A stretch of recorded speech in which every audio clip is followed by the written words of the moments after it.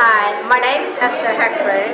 I'm a disciple for uh, almost 28 years now. I got baptized July 10, 1988. Through my faith and prayers, I, I prayed for 10 days that I, I want to be in a church where I can I can change my life because I used to be from a Catholic church, but I wasn't satisfied at all. And then I prayed for 10 days that somebody, God would send me someone, a person, to take me to a church where I could change my life and truly like put my questions, what is my purpose in my life?